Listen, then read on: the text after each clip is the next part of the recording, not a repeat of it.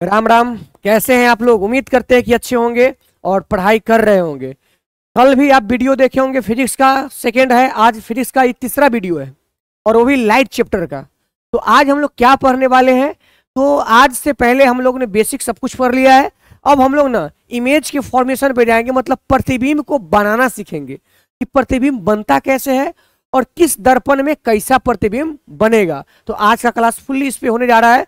तो आप पूरे कंसंट्रेट करके चीज़ों को समझेंगे, देखेंगे और बहुत इंजॉय करेंगे, ठीक है? तो स्टार्ट करते हैं। प्लेन मतलब समतल दर्पण में प्लेन मिरर में कैसा कैसा प्रतिबिंब बनता है और कैसे बनता है, ठीक है? इसको स्टार्ट करते हैं। तो चलिए स्टार्ट करते हैं। आज का जो बहुत बढ़िया सेशन होगा, आज का गौर से केवल आपको देखना है और समझना है। हम लोग का, आप लोग हेडिंग लगा सकते हैं। सबसे पहला, जान लीजिए समतल दर्पण में बनने वाला प्रतिबिंब से भी पहले ज़रूरी है कि समतल दर्पण में ना जब लंबवत प्रकाश पड़ेगा तो क्या होगा? ठीक? देखिए। हेडिंग होगा। हेडिंग लगाइए आप लोग। हेडिंग लगाएँगे आप लोग समतल दर्पण में लंबवत पड़ने वाले किरण। ये आप हेडिंग लगाइए। कि समतल दर्पण में जब लंबवत किरण पड़ेगा तो क्या होगा? देखिए, कोई भी एक प्लेन मिरर लेते हैं। आप आराम से समझिएगा चीज़ों को, ठीक है? कोई भी एक प्लेन मिरर लेते हैं। मान लीजिए, ले लिए। एक मिरर है। इसको जैसी एक तरफ़ से हम क्या कर देंगे? ये कर देंगे एक मिरर हो गया। ये समतल दर्पण है। ये समतल दर्पण है। कहीं कोई से दिक्कत नहीं है। अब समतल दर्पण में लंबवत लंबवत मतलब सीधे 90 डिग्री पर। जब अगर प्रकाश को यहाँ से हम मारेंगे, गौर कीजिएगा, एकदम 90 डिग्री पर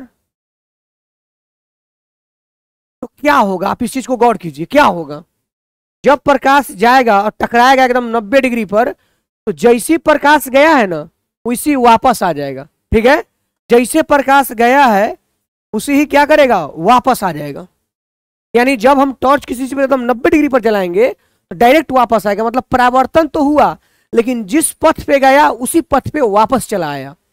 यहाँ भी आप देख सकते हैं, ये एक प्लेन मिरर है, समतल दर्पण है।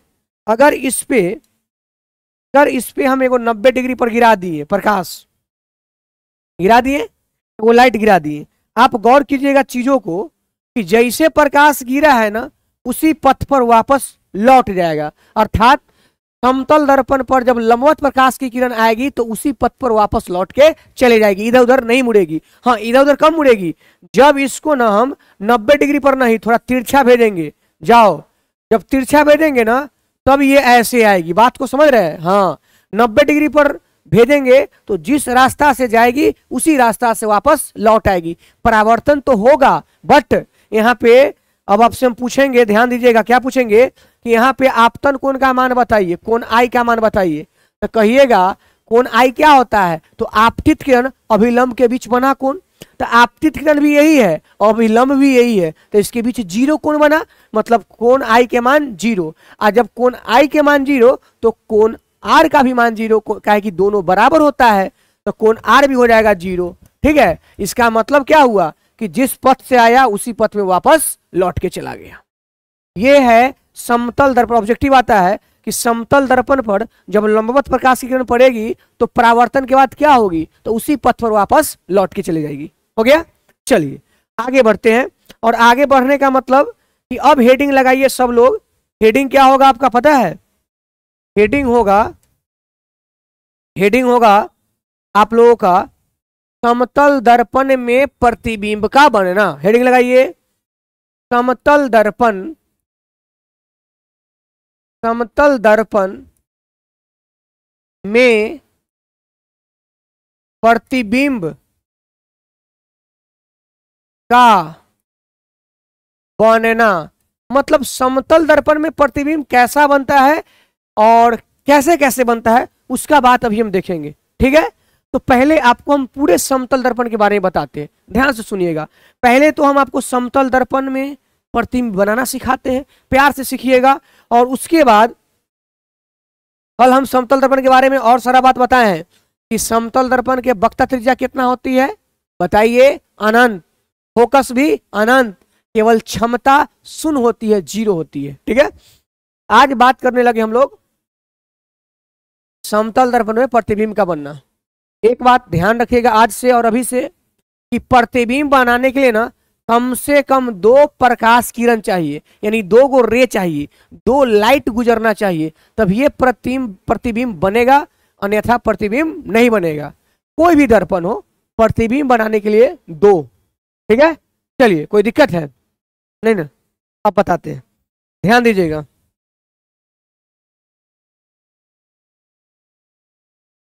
ध्यान दीजिएगा पूरे अच्छे से।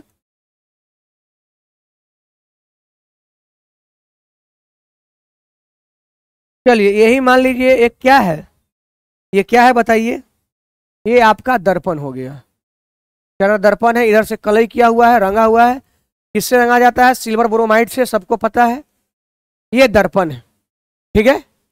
इस दर्पण के सामने ना, क्या हुआ कि एक वस्तु खड़ा करते हैं। पहले हम आपको इसको इसके माध्यम से समझाते हैं बहुत चीज़ समझाना भी बाकी है।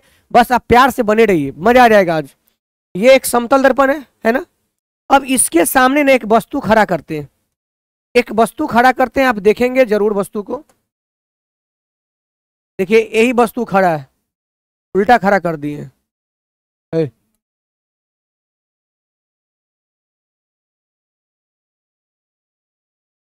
चलिए ये वस्तु खड़ा है सीधा है ना? ये वस्तु खड़ा है। वस्तु सीधा है कि टेढ़ा है? सीधा है? ये वस्तु खड़ा है बेचारा। देखिएगा, एकदम डिसिप्लिन में खड़ा है।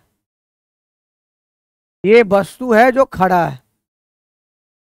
अब गौर कीजिएगा कि वस्तु कहीं ना कहीं खड़ा है तो इस पर एक ज़मीन होगा। इसको एगो दिखा देते हैं। आप प्यार से ना इसको देख लीजिएगा।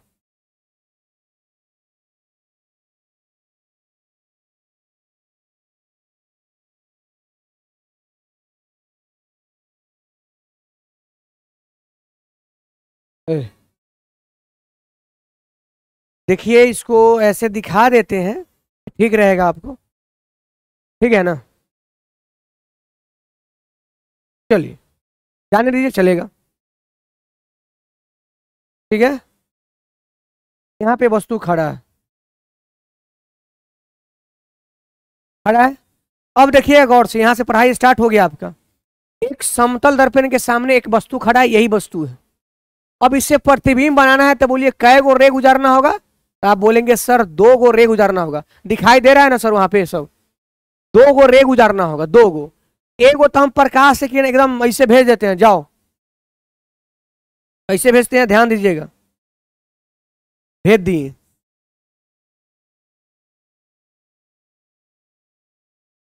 अच्छा आप ही बताइए, अभी जस्ट पढ़े हैं कि जब कोई प्रकाश की किरण एकदम 90 डिग्री पर जाएगी तो क्या करेगी? सीधे उसी पथ पे वापस लौट के आ जाएगी। सही बोले या गलत? सही बोले ना? कि जब कोई प्रकाश की किरण एकदम 90 डिग्री पर जाएगी समतल दर्पण पर तो उसी वही रास्ता से वापस लौट आएगी। तो ये प्रकाश की किरण गई तो थी। गई तो थी ऐसे ही। लेकिन इसी पथ पर क्या हो गई? वापस आ गई। वापस आ गई तो इसको हम दिखाते हैं कि ये वापस आ गई।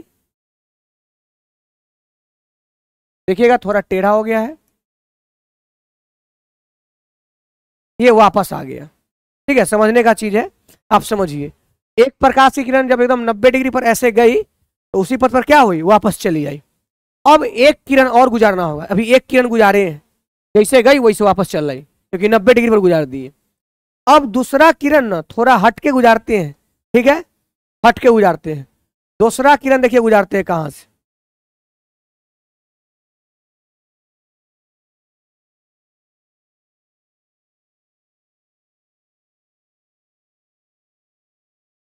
मान लीजिए दूसरा किरण गुजार दिए। ऐसे।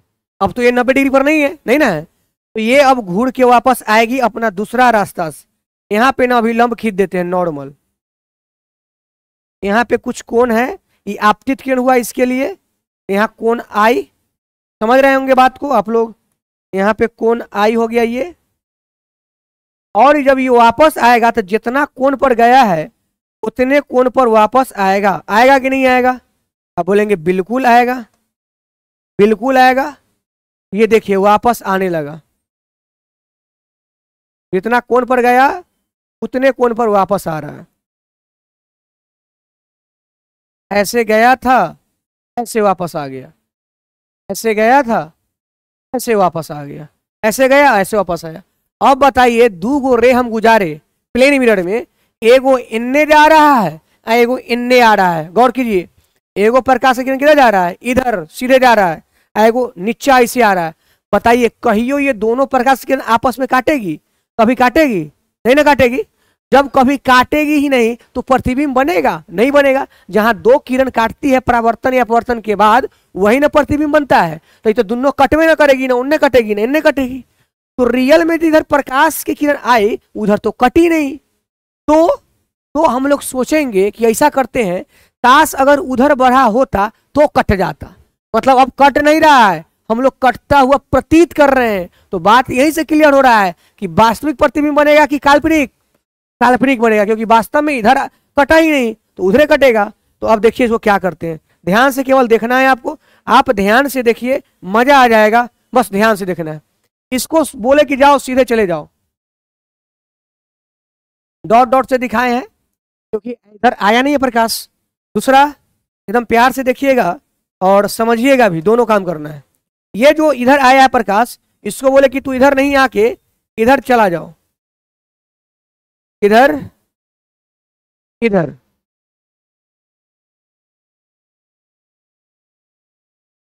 थोड़ा सा देख लेंगे ध्यान से।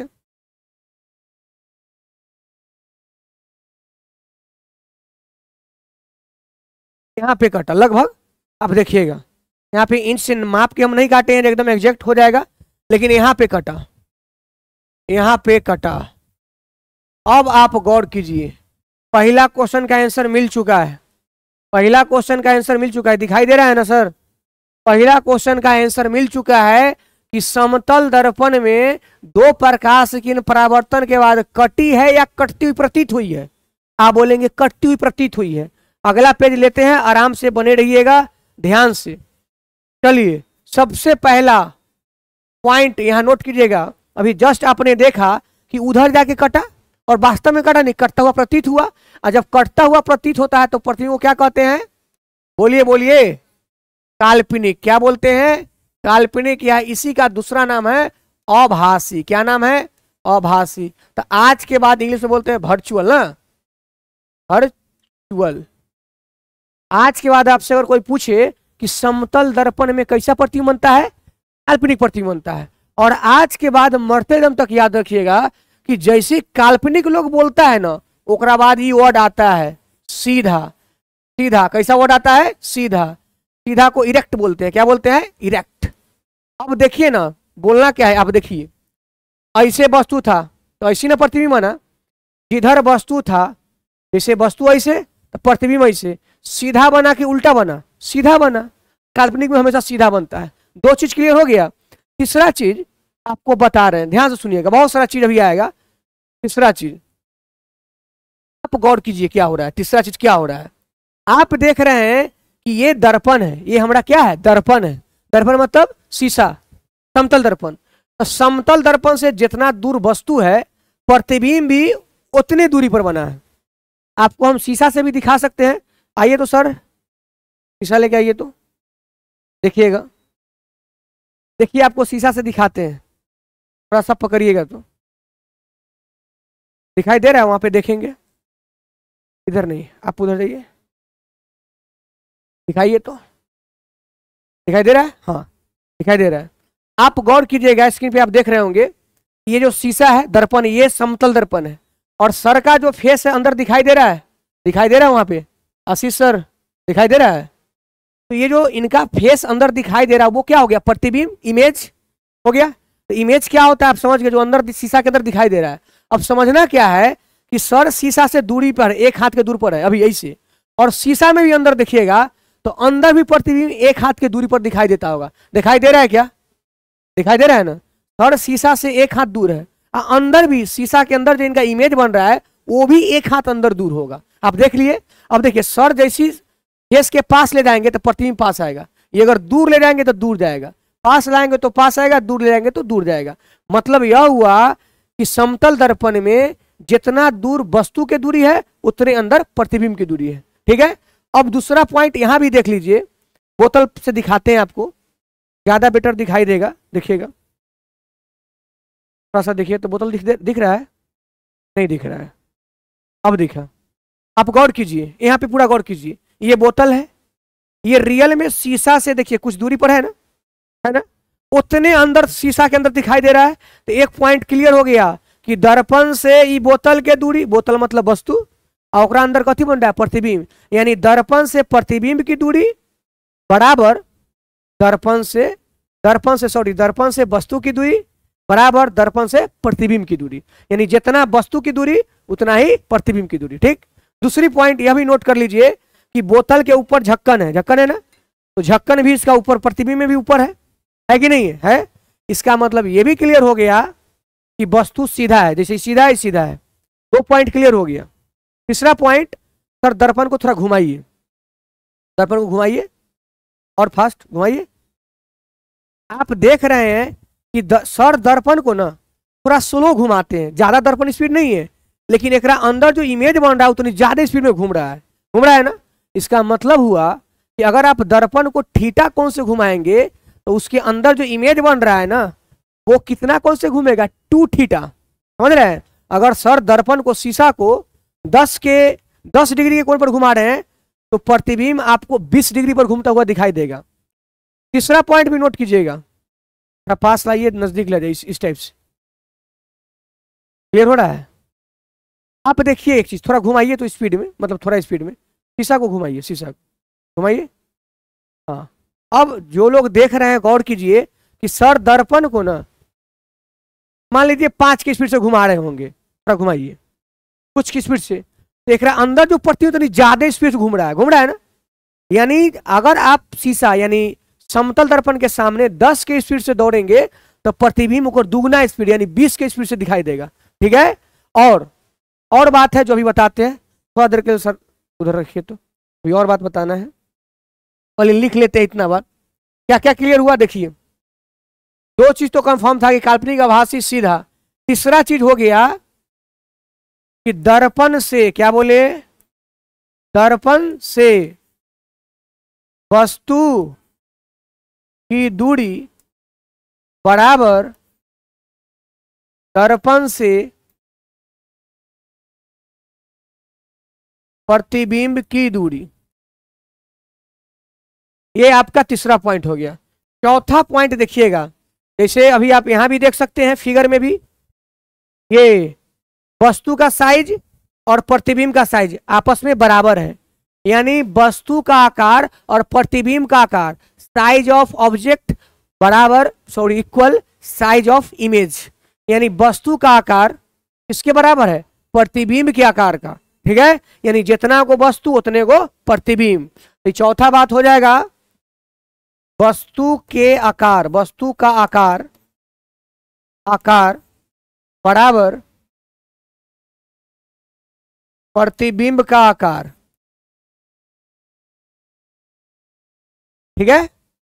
सर, इतना बात हम समझ गए थे कि जितना को वस्तु है, उतने को प्रतिबिंब दिखाई। जितना को भी बोतल था पानी का डब्बा आप देखे थे उतना को भी इमेज में भी दिखाई दिया था, छोट बड़ तो दिखाई नहीं दिया था ना? नहीं दिया था। यानी वस्तु का प्रतिबिंब का आकार और जितना आप शीशा से दूर जाते थे, प्रतिबिंब उतने दूर। पास तो पास। आप आईना लीजिएगा, आईना के भी मुँह ले जाइएगा तो वो भी मुँह, भीड़ में आएगा दूर तो दूर। यानी दर्पण से वस्तु की दूरी, क्या बोले?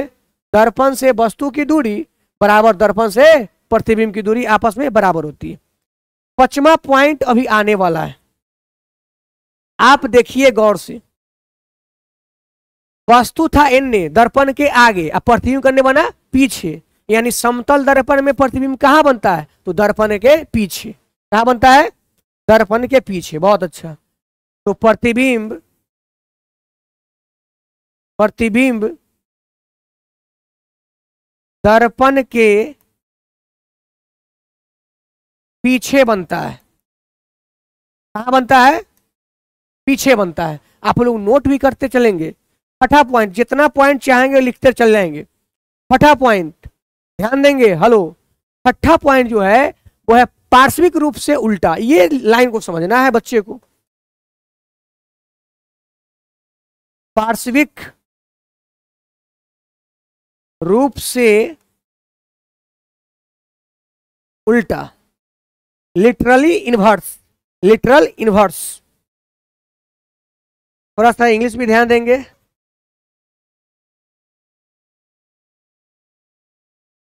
क्योंकि अब आगे दिन मैट्रिक के बाद आप इंटर में कहीं पढ़ने जाएँगे बाहर शहर में तो वहाँ पे सर ये आपको वस्तु नहीं ऑब्जेक्ट बोलेंगे, प्रतिबिंब नहीं इमेज बोलेंगे। तो आप उस समय ऐसा ना हो कि आप जानते सब कुछ है हिंदी में और इंग्लिश वाला कुछ नहीं जानते हैं। ये सब का आप जान जाइएगा ना। क्या जानिएगा? Distance of object from mirror वस्तु के आकार साइज़ ऑफ़ ऑब्जेक्ट प्रतिबिंब का आकार साइज़ ऑफ़ इमेज प्रतिबिंब दर्पण के पीछे बनता है। Image is formed behind the क्या? मिरर इस टाइप से आप समझते रहेंगे। पार्श्विक रूप से उल्टा। ये पार्श्विक रूप से उल्टा क्या होता है? सर, सारा पॉइंट तो समझे कि काल्पनिक, सीधा, दर्पण, ये सब समझ गए। ये छठा पॉइंट सर नहीं समझ रहे हैं कि पार्श्विक रूप से उल्टा क्या होता है। ये मैं आपको बताता हूँ। समतल दर्पण ना, पार्श्विक पार्श्विक रूप से उल्टा प्रतिबिंब बनाता है। ये पार्श्विक रूप से उल्टा क्या होता है? समझिए। जैसे पार्श्विक रूप से उल्टा क्या होता है कि जो भी लेटर लिखेंगे ना अभी हम दिखाएँगे जैसे आर ऐसे लिखे, आर। मेरा नाम हुआ? आर ऐसे लिखे। इना के सामने नहीं, आर ऐसे दिखाई देगा, ऐसे। समझे? बात को समझिएगा। अगर पी ऐसे है तो पी ऐसे दिखाई देगा। एकरे कहते हैं, पार्श्विक रूप से उल्टा। इसीलिए कभी कभी क्या देखिएगा आप, एंबुलेंस जो गाड़ी पर लिखल रहता है, वो उल्टा लिखता है। क्यों? कि अगला गाड़ी वाला शीशा पर देखेगा सीधा दिखाई देगा। कैसा दिखाई देगा? सीधा दिखाई देगा। तो आइए सर आपको एंबुलेंस दिखाते हैं। कैसे रहता है? देखिएगा तो सर वहाँ पे।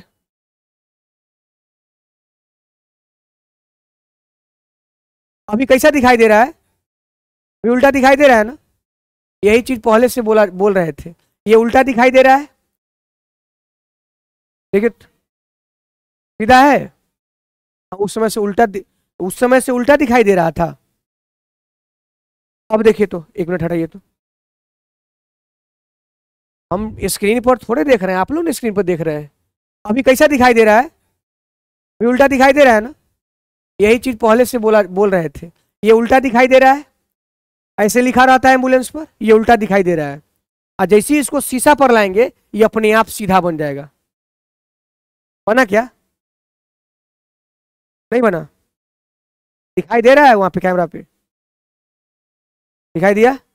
आप लोग जो लोग देख रहे हैं फील कीजिए। कि जो एंबुलेंस गाड़ी पर ऐसे एंबुलेंस लिखल रहता है, इसलिए लिखल रहता है कि अगला गाड़ी वाला शीशा में देखेगा, चलाएगा तो। इसी शीशा में देखेगा तो उसको क्या दिखाई दे देगा? सही सही। देखिए तो सही सही दिखाई दे दिया। दिखाई दिया ना? बच्चा को दिखाई दे देगा? मोबाइल स्क्रीन पे। दिखाई दे देगा ना? चलिए ठीक है। तो यही होता है पार्श्विक रूप से उल्टा। आप कहीं भी कोई लेटर देखिएगा, जैसे ये ये आपको दिखाई नहीं देगा, शीशा पर समझे कि नहीं समझे? ये है उल्टा, ऐसे वाला उल्टा। दो उल्टा होता है, एक होता है वाटर इमेज एक होता है ग्लास इमेज तो ग्लास इमेज में ना ऐसे से ऐसे पलट देता है, ठीक है? वाटर इमेज में ऐसे से ऐसे पलट देता है। अब अगर इसे समझ गए, आपको तो फिगर दिखाई दिए। पार्थिविक रूप से उल्टा के मतलब होता है लेफ़्ट को राइट में दिखाना। लेफ़्ट को कथी में दिखाना? राइट में। और राइट को कथी में दिखाना? लेफ़्ट में दिखाना। एक कहते हैं पार्श्विक रूप से उल्टा। जैसे आप एंबुलेंस को देखें, इसलिए एंबुलेंस में ना उल्टा लिख के रखता है। कैसा लिख के रखता है? उल्टा लिख के रखता है कि अगला गाड़ी वाला को क्या दिखाई दे दे सीधा। और इसीलिए इसको कहते हैं पार्श्विक तो छ गो हो गया, अभी और बन जाएगा, ठीक है? ध्यान दीजिएगा। अगला पेज लाते हैं। सातवा प्रॉपर्टी क्या लिखाएगा बताइए तो। सातवा प्रॉपर्टी क्या लिखे? सॉरी प्रॉपर्टी नहीं, लेकिन समतल दर्पण में कैसा कैसा पट्टी बनेगा? हाँ बिहार वन में पाँच छगों से काम चल जाएगा। सतमा यह हो सकता है कि दर्पण को, किसको? दर्पण को। थीटा कोण थीटा?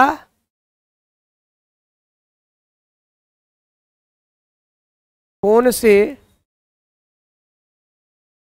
घुमाएँगे तो प्रतिबिंब प्रतिबिंब, टू थीटा कोण से घूमेगा? मतलब हम दर्पण को ठीठा कौन से घुमाएँगे? तो प्रतिबिंब टू ठीठा से। अगर हम आईना के सामने थोड़ा सा इसे मूव करेंगे तो लगेगा ज़्यादा ज़्यादा मतलब ज़्यादा मूवमेंट दिखा देगा। इसलिए डांस क्लास और देखिए दूसरी बात जिम उम में भी जाइएगा ना तो शीशा लगल रहता है इसीलिए कि आप कीजिएगा कुछ और, उसका दूना दिखाएगा, आप खुश हो जाइएगा। अगर आप दर्पण में भी बेग से दौड़ रहे हैं, कौन बेग से दौड़ रहे हैं? भी वेग से। भी वेग से। तो प्रतिबिंब टू भी बेग से। प्रतिबिंब यहाँ लिख देते हैं, प्रतिबिंब टू भी वेग से। ये तो पूरा हटाना पड़ेगा। प्रतिबिंब टू भी वेग से। नौवा पॉइंट सारा पॉइंट देख लीजिए, हानि नहीं करेगा, फ़ायदा करेगा। अगर किसी आदमी को अपना पूरा, कल भी बताएँ शायद, अगर किसी आदमी को अपना पूरा इमेज देखना है, पूरा तो उसका शीशा जो कांच है, जो उसका दर्पण, उसका लंबाई कितना होना चाहिए, उसके आधा। अगर आदमी छः फुट के है तो शीशा तीन फुट का। ठीक है, ये बात भी नौवा बात अच्छा एक चीज़ और गौर किए हैं। लड़का लोग तो गौर किया होगा, शायद लड़की नहीं की होगी। सैलून में कभी बैठे हैं? सैलून में। तो सैलून में आप गौर कीजिएगा, लड़का लोग बैठा ही होगा कि आपके आगे भी शीशा लगा रहता है दर्पण, और पीछे भी शीशा लगा रहता है। यहाँ जब बाल कटाते हैं, वहाँ आगे भी शीशा लगा है, जिसमें आप फेस देखते हैं, और पीछे भी शीशा लगा होता है। तो वहाँ आप गौर करते होंगे कि आपका ना, जो ये सिर बोले, मुड़ी बोले, ये बहुत दिखाई देता है। दिखाई देता है ना? ये बहुत दिखाई देता है। यानी दो समतल दर्पण के बीच में अगर रख दिया जाए, जैसे अभी हमारा इधर से शीशा लग जाए और इधर से लग जाए तो मेरा बहुत सारा इमेज बनेगा। बहुत सारा प्रतिबिंब दिखाई देने लगेगा। तो ये किस पर डिपेंड करता है?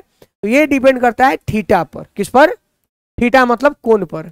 मतलब कि आप दर्पण को कितना डिग्री पर झुका के रखे हैं? मतलब क्या? थीटा कोण। मतलब दर्पण को कितना डिग्री पर रखे हैं। अगर मान लीजिए, हम कोई सैलून में गए, समझिएगा एग्ज़ाम्पल अगर हम कोई सैलून में गए, उस सैलून वाला जो है, शीशा को 60 डिग्री 60 डिग्री पर झुका ले दोनों शीशा को। कितना डिग्री पर? 60 डिग्री पर। एनू से शीशा 60 डिग्री पर है और, इधरों से शीशा 60 डिग्री पर है, इधरों से शीशा 60 डिग्री पर है। बीच में आदमी बैठल है। समझे कि नहीं समझे? बीच में आदमी बैठल है। अपना बाल कटवा रहा है, आदमी ये बैठा हुआ है। तो उसका कितना मूडी दिखाई देने लगेगा? इसका एक फॉर्मूला है, ध्यान रखिएगा। बता देते हैं, काम देगा आपको। अगर इस टाइप से क्वेश्चन आ जाए तो इसका एक फार्मूला है। फार्मूला देखिए, लिख देते हैं, फिर क्वेश्चन कराते हैं। फार्मूला है 360 डिग्री बटा में थीटा। इसमें खाली एक चीज़ क्या स्पेशल याद रखना है? ध्यान देंगे। क्या याद रखना है कि अगर इसको काटने के बाद अगर सम संख्या आया, कथी आया? सम संख्या सम संख्या आया इवेन नंबर आया तो उसमें से ना एक घटा लीजिए। कितना घटा लीजिए? एक घटा लीजिए। विषम आया तो चुपचाप छोड़ दीजिए। बन जाएगा। जैसे एक एग्ज़ाम्पल देते हैं। आप गए सैलून में, बैठे और सैलून के दोनों तरफ़ का दर्पण शीशा, साठ डिग्री के कोण पर है। कितना डिग्री कोण पर है? साठ डिग्री के। आप समझिएगा। सैलून में बैठे, उस सैलून के दोनों तरफ़ का जो दर्पण है, वो सिक्सटी डिग्री पर है। साठ डिग्री पर झुका हुआ है। तो आपको कितना सिर दिखाई देगा? तीरों की संख्या बताइए। तीरों की संख्या बताइए। अब मेरे पास यहाँ मेज़रमेंट करने का तो नहीं है कि हम दो आईना को साठ डिग्री पर झुका दे, ऐसा तो नहीं है, लेकिन आप सलून में देखे होंगे। हाँ लड़की लोग भी शायद पैरल में रहता है। वहाँ भी तो शीशा होगा ही। वहाँ तो गए नहीं हम लोग। तो वहाँ भी शीशा होगा तो आप देखे होंगे। सीरों की संख्या। तो सीरों की संख्या निकालना है तो फॉर्मूला है तीन सौ साठ। बोलिए, दर्पण को कितना डिग्री पर रख ले है? साठ डिग्री। तो बटा में साठ। ज़ीरो से ज़ीरो खत्म, छिया एक छत्तीस। छो तो कई गो मुड़ी दिखाई देगा? गलत। छो गो मुड़ी दिखाई नहीं देगा। बोले थे इवेंट नंबर रहेगा तो क्या करना एक घटा लेना। छो इवेंट नंबर है तो एक घटा के आंसर बोलेंगे, यानी पाँच। आपको पाँच को सीट दिखाई देगा। अगर मान लीजिए आप कोई सैलून में गए संजोग से सैलून वाला जो है, वो है चालीस डिग्री पर शीशा को फिट करवेले कितना डिग्री पर? चालीस डिग्री पर। तो चालीस डिग्री पर जब करवेले है, समझिएगा तो आपको कै गो सीट दिखाई देगा? तो बस सिंपल सा बात। तीन सौ साठ बटा में चालीस, चार नमा छत्तीस, नौ आया। बोलिए नौ इवेन है कि ऑड है? ऑड है। इवेन नहीं ना है? सम संख्या नहीं है? तो इसका आंसर नौ। यानी नौ को मुड़ी दिखाई देगा। समझे नहीं समझे? कोई दिक्कत नहीं ना? और कभी अगर ऐसा हो कि भाई काटने के बाद नौ दशमलव दो आ जाए तो भी नौवे को सीट दिखाई देगा। पूर्णांक लेना है, ठीक है? यहाँ तक हो गया। तो समतल दर्पण में, समझिएगा, कैसा प्रतिबिंब बनेगा? इसका पूरा कहानी हम लिखे यहाँ पे। पहले आपको मैं बता दूँ कि समतल दर्पण में प्रतिबिंब कैसे बनाए, आपको फिगर से समझाएँ। फिर आपको कुछ हम किससे समझाएँ? एक शीशा लेके समझाएँ। और उसमें आपको हम ये बताएँ कि समतल दर्पण में कैसा प्रतिबिंब बनता है बोलने का काल्पनिक काल्पनिक बोलेगा तो सीधा सीधा बोलेंगे तो दर्पण से वस्तु की दूरी बराबर दर्पण से प्रतिबिंब की दूरी। वस्तु का आकार बराबर प्रतिबिंब का आकार। प्रतिबिंब कहाँ बनेगा? दर्पण के पीछे बनेगा।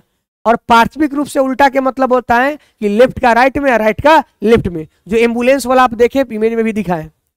ठीक है? चलिए, अब देखिए। ये हो गया। अगला बोले, ये सभी आप देख लिए। हीरो की संख्या निकालना भी समझ गए। अब ये हो गया कंप्लीट समतल दर्पण में कैसा प्रतिबिंब बनता है? कैसे बनता है? हमने चित्र से भी बताया समझाने का पूरा कोशिश किया। आप समझे भी होंगे। समझ गए? समझ में आया? चलिए, अब अगला हेडिंग लगाएँगे, कुछ और टॉपिक पढ़ते हैं, आगे बढ़ते हैं। ठीक? चलिए। ध्यान दीजिएगा, बता देना जो चाहते हैं, उसको ध्यान दीजिएगा, बस हो गया।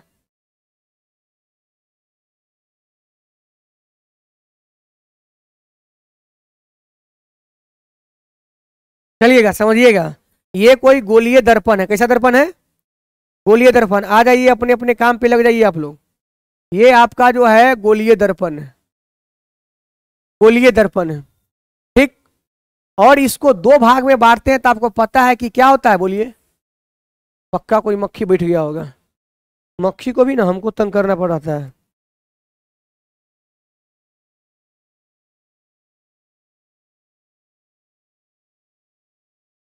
इसको जब आधे हाथ काटेंगे तो दो गो आपको मिलेगा दर्पण। तो आप जानते हैं, कल भी बताए थे। और पेंट करना किधर होता है, ये भी आप जानते हैं। ठीक है तो समझिएगा अच्छे से। यहीं से बीच बीच काटेंगे। तो काटे नहीं तो दर्पण, इधर ऐसा मिला, देखिएगा गौर से। मान लीजिए ऐसा मिला।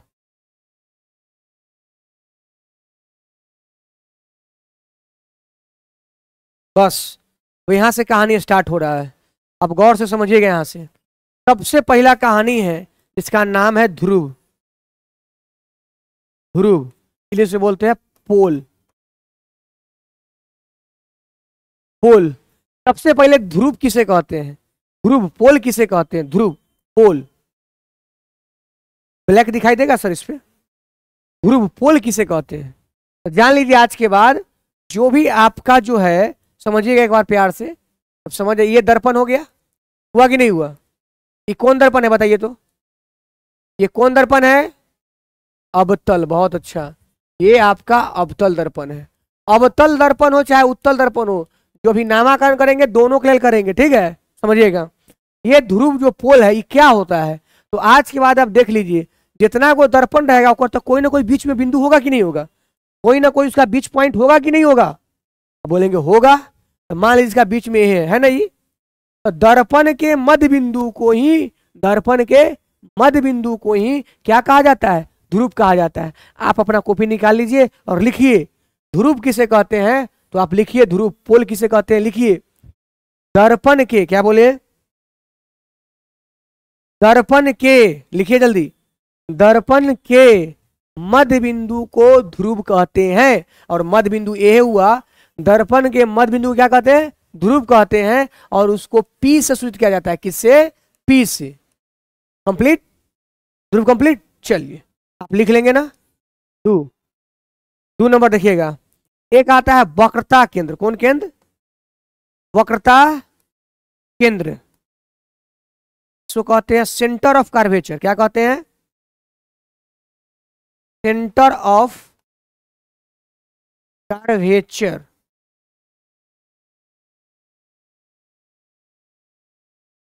centre of curvature, बख्ता केंद्र। ये क्या होता है? देखिए, कोई भी दर्पण है, जैसे यह बेचारा अवतल दर्पण है। कोई भी दर्पण है तो किसका एक हिस्सा है? गोला का। यानी कोई भी दर्पण किसी गोला का ही एक भाग होता है। होता है ना? ये दर्पण है तो ये गोला का एक भाग है। तो दर्पण जो होता है ना, किसी न किसी गोले का एक हिस्सा होता है। आ गोला होगा तो अंदर कथी होगा, केंद्र होगा। यानी दर्पण किसी न किसी गोले का हिस्सा है, और उस गोले के केंद्र को ही, जो ये गोला है केंद्र को ही दर्पण का वक्ता केंद्र कहते हैं। लिखेंगे आप लोग, जो लोग पढ़ रहे हैं वो। क्या बोले? फिर से सुन लीजिए। बोले कि दर्पण किसी न किसी गोले का हिस्सा होता है। और उस गोले का केंद्र होगा। उस गोले के केंद्र को ही दर्पण का बक्ता केंद्र कहते हैं सेंटर ऑफ़ कार्वेचर कहते हैं। क्या याद नहीं हो पाएगा? यानी ई दर्पण है तो एक कर केंद्र इन्ने होगा कि इन्ने होगा? ये दर्पण है तो अगर केंद्र इन्ने होगा कि इन्ने होगा? इधर ना होगा, अरे बता, ये एक कर ऐसे ना हिस्सा है। इन्ने ना होगा, उन्ने बोल रही है। इधर ना केंद्र होगा एक। इसका केंद्र किधर होगा? इधर। तो यही इसका कहलाएगा क्या? बोलो। बक्ता केंद्र, और बक्ता केंद्र को ना सूचित करते कभी से? सी से बड़का सी से। तो ये सी मिल गया। दो बात ध्रुव समझा दिए और बक्ता केंद्र समझा दिए। कोई पूछेगा बक्ता केंद्र किसे कहते तो क्या बोलेंगे? आप ऐसे बोलेंगे कि दर्पण किसी न किसी गोले का एक हिस्सा होता है और उस गोले के केंद्र को ही दर्पण का बक्ता केंद्र कहते हैं। अच्छा मान लीजिए अगर कोई दे दे ई वाला दर्पण, कौन दर्पण? ई वाला दर्पण। ई कैसन दर्पण है? ये कैसन दर्पण है? उत्तल दर्पण। अच्छा अगर एक कर पूछेंगे जब बक्ता केंद्र करने होगा इन्ने की इन्ने इन्ने ना एक कर गोला कैसा इन्ने तो बक्ता केंद्र करने हो जाएगा। इन्ने समझ रहे हैं ना? चलिए। तो बक्ता केंद्र समझ गया। बक्ता केंद्र को सी से डिनोट करते हैं। किसे? सी से। चलिए। अब आएगा बक्ता त्रिज्या।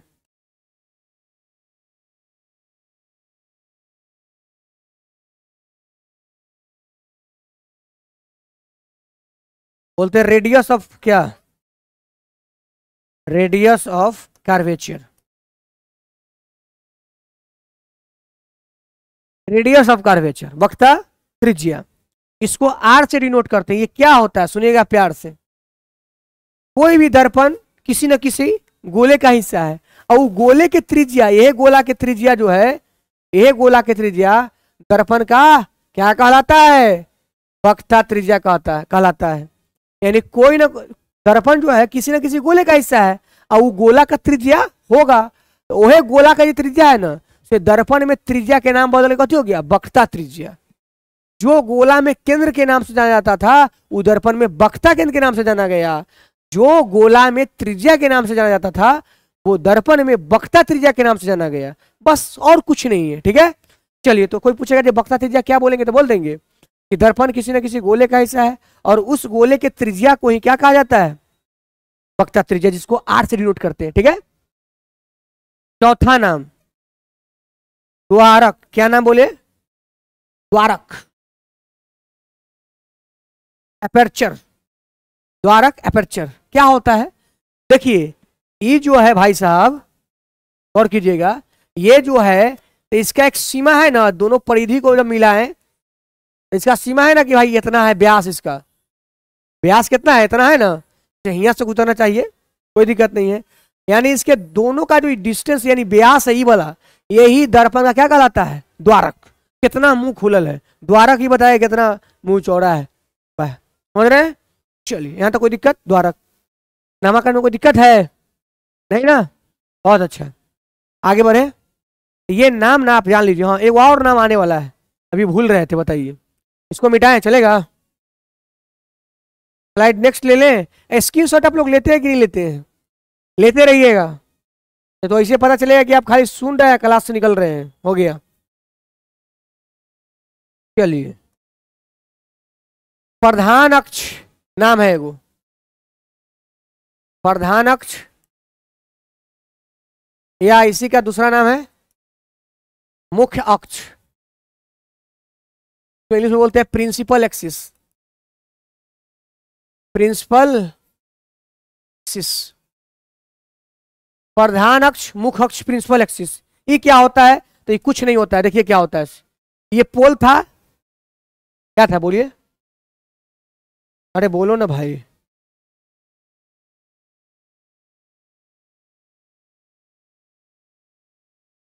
चलिए। आप जानते हैं भली भांति कि एक दर्पण के मध्य बिंदु ध्रुव होता है, उनमें क्या होता है? बक्सा केंद्र होता है। तो ऐसा एगो रेखा जो होगा जो दोनों को मिला देगा। मिला दिया? यानी दर्पण के बक्सा केंद्र और ध्रुव को मिलाने वाली रेखा। फिर से बोलिए, रिपीट कीजिए। दर्पण के बक्सा केंद्र और ध्रुव को मिलाने वाली रेखा दर्पण का प्रधान अक्ष, मुख्य अक्ष प्रिंसिपल एक्सिस सब कहलाती है। यानी कोई पूछेगा कि प्रधान अक्ष, मुख्य अक्ष या प्रिंसिपल एक्सिस किसे कहते हैं? तो आप बोलिएगा, दर्पण के वक्ता केंद्र और ध्रुव को मिलाने वाली रेखा को दर्पण का मुख्य अक्ष कहते हैं प्रिंसिपल एक्सिस कहते हैं। यही है दर्पण दर्पण दर्पण का प्रधान अक्ष। ठीक है? तो आपको पाँच नाम बताए। दर्पण का ध्रुव, आप याद कर लिए होंगे। दर्पण के बीच वाला बिंदु को दर्पण का ध्रुव कहते हैं, इसे पी से डिनोट करते हैं। दूसरा है वक्ता केंद्र, ये भी समझाए हैं कि दर्पण कोई ना कोई गोला का एक हिस्सा है, और वो गोला के केंद्र दर्पण का वक्ता केंद्र कहलाता है। फिर वक्ता त्रिज्या, हम बोले कि दर्पण भी किसी न किसी गोले का हिस्सा है, और उसी के त्रिज्या को दर्पण में वक्ता त्रिज्या कह दिया गया आर से डिनोट करते हैं। फिर द्वारा अपेक्चर नाम आया तो ये व्यास इसका। और चौथा जो भी आया, वो था प्रधान अक्ष या मुख्य अक्ष। तो हम बोले, दर्पण के दर्पण के वक्ता केंद्र और ध्रुव को मिलाने वाली रेखा को क्या कहते हैं? प्रधान अक्ष। बोले, याद हुआ कि नहीं हुआ? आपको सुन के याद हो जाएगा, फिजिक्स घरे पढ़ने की ज़रूरत नहीं पड़ेगा। फिजिक्स यही हो जाएगा आपका। हाँ लेकिन इसके लिए ध्यान से सुनना और कलम से नोट करना। दोबारा पढ़ने की ज़रूरत नहीं पड़ेगा। ये दो चार बात था, उसको बताएँ। टाइम कितना हुआ सर बताएँगे? चलिए। अब हम लोग ना इसके आगे टॉपिक कुछ और दिन ले जाएँगे, लेकिन कल भी कुछ क्वेश्चन छूट गया था, आज भी कुछ क्वेश्चन है। यानी आज कुछ क्वेश्चन कर लेते हैं, जो हम पढ़ाए हैं ना, उसी से रिलेटेड कुछ क्वेश्चन है, ठीक है? तो चलिए स्टार्ट करें। ठीक है? और देखिए, वो सब ऐसा क्वेश्चन होगा, जो बोर्ड में आएगा। अगर आप स्क्रीनशॉट नहीं लिए हैं तो एक मौका अभी भी है। स्क्रीनशॉट लेने का, ले सकते हैं, देखिए। सॉरी हम उल्टा कर दिए। स्क्रीनशॉट लीजिए, इसका स्क्रीनशॉट ले लीजिए, घर पे लिख लेंगे। ले लिए, ओके। इसका ले लीजिए। ले लिए। स्क्रीनशॉट ले लीजिए आप लोग। अच्छा इसका देखिए तो। ले लीजिए स्क्रीनशॉट हो गया। इसका स्क्रीनशॉट ले लीजिए। पूरा इतना ही पढ़ाए अभी तक। और नहीं ना पढ़ाया, नहीं पढ़ाया, चलिए। अब जान लीजिए, हम लोग आते हैं कुछ जगह पे। और देखिए, सबसे पहले समतल दर्पण प्लेन में देखिए, एक चीज़ यहाँ भी छुपल था। ये एंबुलेंस वाला, बताइए, आपके लिए रखे हुए थे? भूलिए गए थे कि कहाँ है बेचारा। देखिए एंबुलेंस में ऐसी एंबुलेंस लिख ले रहता है। पता क्या लिखता है? ऐसे समझ में आना गया? कि अगला गाड़ी वाला को कैसे दिखाई दे? सीधा। जो अभी आपको हमने करके दिखाया था, नहीं करके दिखाया दिखाया ना? इसीलिए एंबुलेंस को ऐसे लिखता है। और एकरा बोलते हैं यह जो एकरे ऐसे को ना, ऐसे दिखा देना, इसका नाम है क्या? ना बोलते हैं। पार्श्विक रूप से उल्टा, ठीक है? Lateral inverse lateral inverse. देखिए, ये आदमी को देखिए, ये शीशा है। दिखाई दे रहा है, ये शीशा है। देखिए, हमें कैसे उल्टा दिखाई देता है, ऐसे देखिए। ये आदमी ना इनने से देखिए गौर से, ये आदमी जो है, इस शीशा के सामने अपन, शीशा में बॉडी देख रहा है तो ये आदमी अपन लेफ़्ट हैंड को घुमा ले। कभी घुमा ले? लेफ़्ट हैंड को। गौर कीजिए, ये आदमी ऐसे खड़ा है, उधर शीशा लगल है तो अपना लेफ़्ट हैंड को ऐसे कहले है अपना बॉडी देख रहा है कि, वाह, मेरा क्या बॉडी है? लेकिन शीशा क्या कर रहा है? देखिए, शीशा कितना तेज है। शीशा क्या कर रहा है? इसको दिखा रहा है मतलब राइट हैंड को दिखा रहा है। मतलब आपके लेफ़्ट हैंड को राइट बना देता है, और इसी गुण का नाम है पार्श्विक विस्थापन लेटरल इनवर्स ठीक है? तो ये था, हम देख रहे थे। चलिए तो आगे बढ़ते हैं। कुछ क्वेश्चन कीजिए मेरे साथ। आ गया क्वेश्चन छोटा छोटा क्वेश्चन है। हमको लगता है कि आप लोग को बनाने का ज़रूरत ही नहीं पड़ेगा। ऐसी बन जाएगा। हाँ सर, देखिए क्वेश्चन दिखाई दे रहा है। हेलो प्रकाश के परावर्तन के कितने नियम है? हमको लगता है जो बच्चा तीन दिन मेरा वीडियो दिखा होगा ना, वो आँख बंद करके मार देगा। बी क्या मारेगा? बी मतलब प्रकाश के परावर्तन कितने नियम हो गए? दो नियम। दूसरा क्वेश्चन परावर्तन के नियम से निर्धारित होता है। 2017 में पूछ ले 2015 20 में पूछ ले। परावर्तन के नियम से निर्धारित होता है क्या? तो परावर्तन के नियम क्या है? आपतन कोण कोण आई बराबर, कोण आर। यानी आपतन कोण, परावर्तन कोण के बराबर होता है। पहला ऑप्शन आपतन कोण बराबर, परावर्तन कोण। पहला ऑप्शन मार लीजिए ए सही। कोई लड़का मिस्टेक मत करना। बी में परावर्तन कोण अपवर्तन कोण लिख ले है? मिस्टेक भारी मिस्टेक हो जाएगा। ये नहीं होगा। आपतन कोण बराबर? परावर्तन कोण यानी कोण आई बराबर कोण आर? यही है परावर्तन के दूसरा नियम। चलिए, तीसरा में आइए। और समतल दर्पण द्वारा बना प्रतिबिंब। वाह! समतल दर्पण द्वारा कैसा प्रतिबिंब बनता है? तो बताइए, अभी जस्ट हम लोग पढ़े हैं। समतल दर्पण कैसे प्रतिबिंब बना था? उनने ना बना था, उनने। काल्पनिक, बहुत अच्छा। काल्पनिक ऑप्शन नंबर बी काल्पनिक बना था। चलिए, आगे बढ़ते हैं।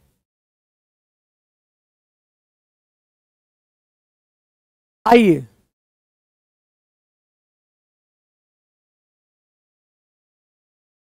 गोलीय दर्पण, परावर्तक पृष्ठ के वृत्ताकार सीमा रेखा का व्यास कहलाती है। वाह! गोलीय दर्पण, परावर्तक पृष्ठ के सीमा रेखा का व्यास कहलाती है, कथी? मुख फोकस नहीं त्रिज्या नहीं प्रधान अक्ष नहीं, द्वारक अपर्चर द्वारक, लास्ट में नहीं समझाए थे। हो गया। फिर कहता है, गोलीय दर्पण का फोकसांतर बक्ता ओ ये नहीं पढ़ा अभी। जान लीजिए, कल पढ़ाएँगे इस पर विशेष, इसका प्रूफ भी कल करेंगे, ठीक है? ये बात जान लीजिए, कल आज नहीं पढ़ा पाए टाइम की वजह से। कल इसको प्रूफ भी करेंगे कि जो फोकस दूरी होती है ना वो वक्ता त्रिज्या के आधी होती है। फोकस दूरी क्या होती है? फोकस दूरी वक्ता त्रिज्या के आधी होती है। फोकस दूरी वक्ता त्रिज्या के आधी होती है। तो ऐसा ऑप्शन में कहीं है? एफ़ बराबर आर बाई टू फोकस दूरी वक्ता त्रिज्या के आधी होती है। गौर कीजिएगा यहाँ पे। यहाँ पे मिस्टेक है थोड़ा सा। ये फोकस दूरी, ये वाला ऑप्शन भी सही है, गौर कीजिए। एरर होगा। फोकस दूरी वक्ता त्रिज्या की आधी होती है? वो बात सही है। यहाँ देखिए। आर जो होती है फोकस दूरी के दुगना होती है। वो बात सही है। क्योंकि दू जाएगा तो टू एफ़ बराबर आर तो टू एफ़ बराबर आर यानी दोनों ऑप्शन सही है, यानी ए एंड सी राइट और क्वेश्चन तो नहीं है। हम एक दिन पूरा बिहार बोर्ड में जितना क्वेश्चन पूछा ना लाइट से, सबको लाएँगे। तो पहले थ्योरी पार्ट कंप्लीट कर लेते हैं। अब ज़रूर बताइए कि वीडियो कैसा लगा? दो टॉपिक छोटा छोटा टॉपिक पढ़ाएँ समतल दर्पण के बारे में पढ़ाएँ कल आपको हो सकता है। तो एफ़ बराबर आर बाई टू सिद्ध करेंगे। और आपको उत्तल दर्पण अवतल दर्पण में इमेज कैसे बनता है और कौन कौन प्रकार की इमेज बनता है, सब बताएँगे। तो अगर अच्छा लगा होगा तो शेयर ज़रूर कीजिए और कमेंट में ज़रूर डालिए क्या चाहिए और क्या चाहिए। वीडियो में वो कमेंट कीजिए। जो भी दिक्कत है कीजिए, ठीक है? अच्छा लगे तो अच्छा लिखिए, बुरा लगे तो बुरा लिखिए। तो आज के लिए इतना ही। मिलते हैं फिर कल आठ बजे। याद रखिएगा।